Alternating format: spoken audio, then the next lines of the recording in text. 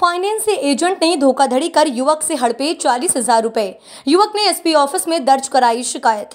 खबर शिवपुरी ज़िले के एसपी ऑफ़िस से है, जहाँ खनियाधाना कस्बे के निवासी आशिक अली ने फाइनेंस एजेंट पर धोखाधड़ी कर उसके चालीस हज़ार रुपए हड़पने का आरोप लगाया है।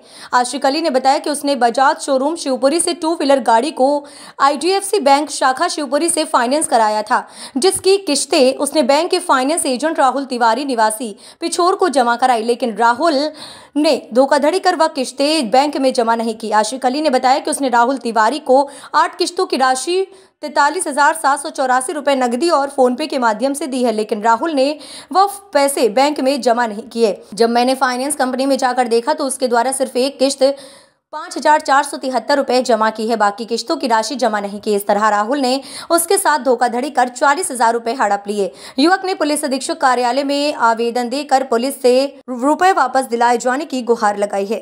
हाँ भाई साहब आप? कहाँ के रहने वाले? क्या मामला लेके एसपी ऑफ़िस आए आप? ये कि मैंने बाइक फाइनेंस करवाई थी पल्सर एन वन सिक्सटी जी। तो उसके अभी क्या मेरा छः सात महीने पहले एक्सीडेंट हो गया था तो बैंक वाले मेरे घर आ रहे थे तो मैंने उनको चालीस हज़ार रुपये मैंने उनको दिया। साढ़े उन्नीस हज़ार रुपये मैंने फ़ोनपे पे किए और बीस हज़ार रुपये मैंने उनको कैश दिए अब अभी कुछ दिन पहले मेरे भाई का कॉल आया चार पाँच दिन पहले। बोला आपकी किस्तें जमा नहीं हुई बैंक से कॉल आया।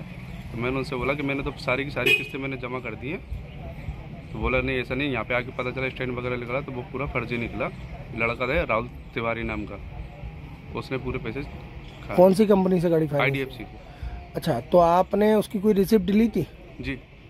फर्जी फर्जी स्लिप है। फर्जी स्लिप। फर्जी। स्लिप है आपके पास? जी। तो आपने कंपनी में बात की फिर? कंपनी बात करी कंपनी वाले बोल रहे हैं कि वो कि हमारा इसमें कुछ नहीं वो तो उनकी ही है कितने रुपए का फ्रॉड हुआ है तुम्हारे साथ? है? चालीस हज़ार। चालीस हज़ार। ये देखिए। कन्यादाना के रहने वाले हो? खनीदानी के रहने वाले। फादर का नाम क्या है? अब्दुल भाई। ये